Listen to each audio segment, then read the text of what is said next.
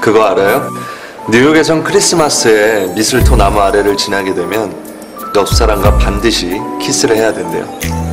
그래야 둘의 사랑이 영원해진다고 합니다. 그러니 사랑하는 사람과 꼭 약속하세요.